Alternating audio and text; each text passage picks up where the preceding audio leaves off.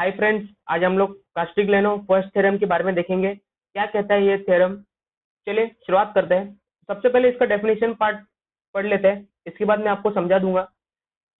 Castigliano theorem state that any member subjected to any system of forces then deflection at any point it equal to partial derivative of the strain energy. Partial derivative of the strain energy with respect to that force मतलब क्या है? हम एक simply supported beam consider करते हैं। ठीक है? ये सिंपली सपोर्टेड बीम है। ए एंड बी ठीक है? इसके ऊपर क्या बोला है? System of forces system of forces मतलब एक फोर्स नहीं है, कई सारे फोर्स है। जैसे कि ये हो गया पी वन ये पी टू पी थ्री ऐसे कई सारे फोर्स है जो कि पी एन ठीक है? कई सारे फोर्स है। तो इन फोर्सेस के कारण इस बीम में डिफ्लेक्शन आएगा, है ना?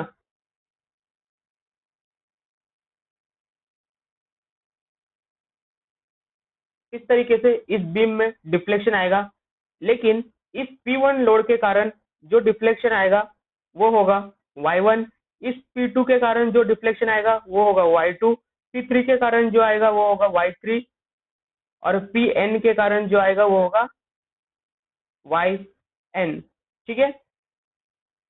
यह है डिफ्लेक्शन ड्यू टू लोड। तो कास्टिग्लिनो थ्योरम क्या कहता है? अगर हमें डिफ्लेक्शन फाइंड करना है, डिफ्लेक्शन y से डिनोट किया जाता है, डिफ्लेक्शन अगर फाइंड करना है तो हमें पार्शियल डेरिवेटिव लेना पड़ेगा स्ट्रेन एनर्जी का। मतलब पार्शियल डेरिवेटिव का साइन आपको मालूम होगा ये डो का sign partial derivative dough U upon with respect to that force मतलब आपको जिस पॉइंट पे डिफ्लेक्शन निकालना है, आपको उस पॉइंट का स्ट्रेन एनर्जी का पार्शियल डेरिवेशन लेना पड़ेगा with respect to that load इसका मतलब क्या है? Member be carries a load P1, P2, P3 up to Pn ठीक है?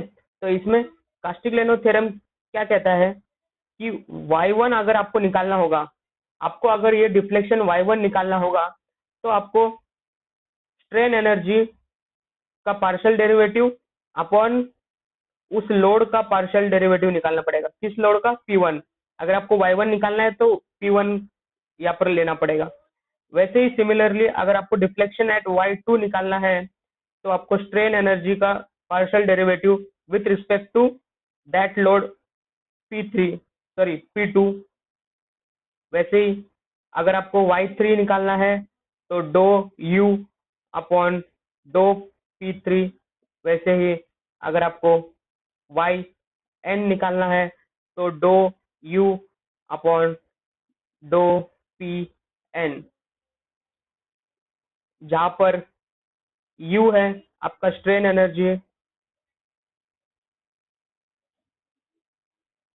आपको पता होगा, U से डिनोट किया जाता है स्ट्रेन एनर्जी को। स्ट्रेन एनर्जी का लंबा चौड़ा फॉर्मूला है।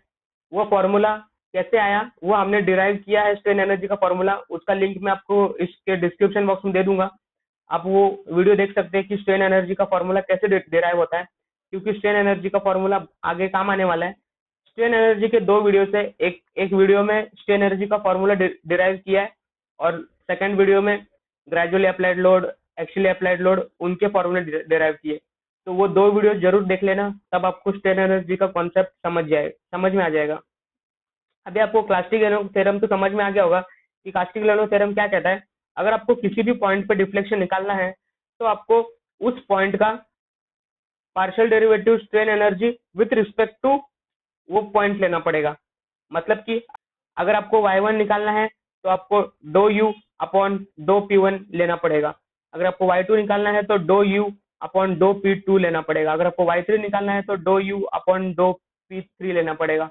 वैसे वाई एन निकालना है तो dough U upon dough P N लेना पड़ेगा। ठीक है? होप आशा करता हूँ आपको कास्टिक लेनो फ़र्स्ट थेरम का कॉन्सेप्ट समझ में आया होगा। वीडियो पसंद आया तो लाइक कीजिए और हमारे चैनल को सब्सक्राइब कीजिए। Thank you